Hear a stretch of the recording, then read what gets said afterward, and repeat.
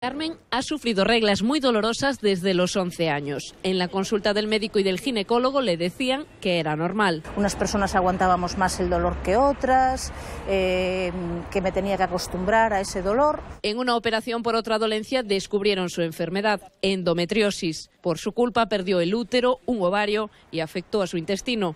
Como ella, las pacientes tardan en ser diagnosticadas de media 10 años. El tejido eh, endometrial, que es el tejido que recubre la cavidad interna uterina, se deposita fuera del útero. De manera que todos los meses va a crecer, se va a desarrollar, se va a inflamar, se va a descamar, va a sangrar y va a producir una eh, inflamación crónica dentro de la pelvis. Las pacientes se quejan de que no se les escucha cuando es una enfermedad que afecta a una de cada 10 mujeres en edad fértil. Se estima que dos millones en España.